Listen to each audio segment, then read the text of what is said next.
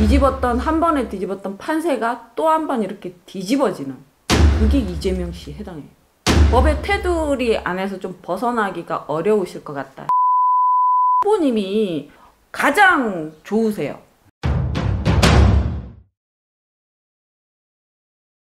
일단 새 후보님뿐만 아니라 다른 분들도 마찬가지겠지만 이제는 윤곽이 조금 많이 드러났다 그렇게 느껴지고 첫 번째로 더불어민주당의 이재명 후보님 3월 운세로만 일단은 보겠습니다.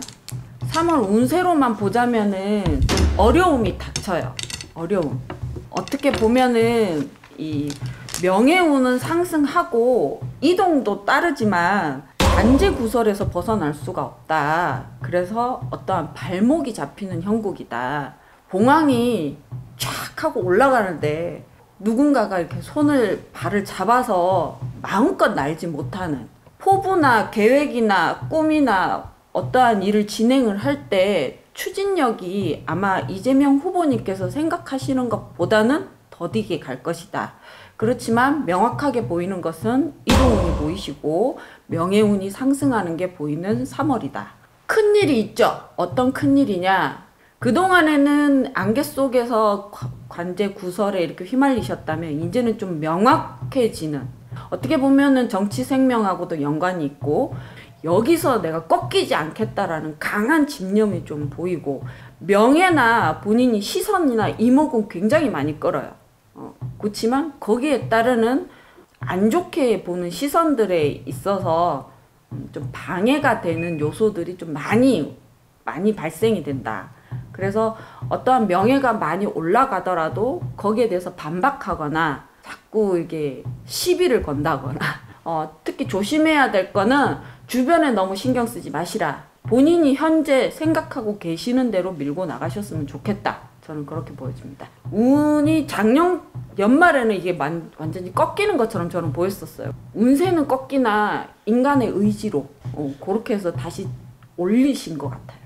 어, 그리고 두 번째로 윤석열 후보님께서는 이 3월에 있어서는 이 판세를 뒤엎으셨는데 어, 순리대로 가는 것에 있어서 어떤 인간의 힘 또는 어떤 외부적인 힘의 영향력에 의해서 본인이 이 판세를 확 뒤집었어요.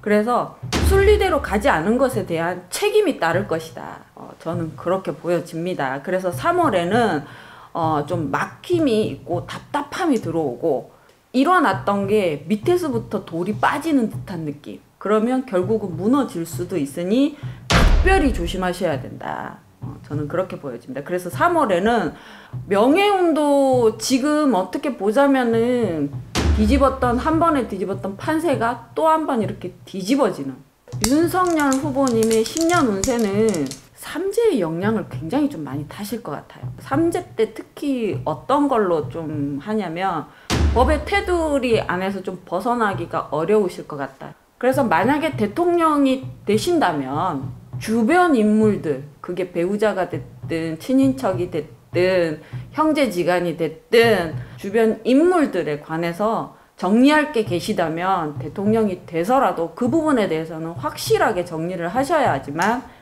음, 대통령이 돼도 별 문제가 없지 않나 이렇게 생각이 듭니다. 예, 안철수 후보님은 근데 3월뿐만 아니라 이미 올 연초부터 저희가 흔히 얘기하는 상문이 들어 계신 것 같아요.